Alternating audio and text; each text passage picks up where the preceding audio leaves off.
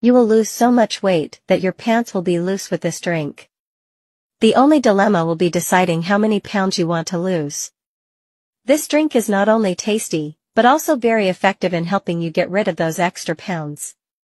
We will start by cutting into pieces two apples, fruits known for their richness in flavonoids and properties that accelerate the metabolism, helping to eliminate fat in the blood and free you from those kilos that make you feel older and fatigued. Then, we will take the apple to the blender, adding 300 milliliters of water. We will also incorporate prunes, which are excellent for flattening the abdomen. We will let it blend for a few minutes. Please tell me in the comments from which country you see us so I can send you a greeting in my next video. We greatly appreciate your constant support in all our videos.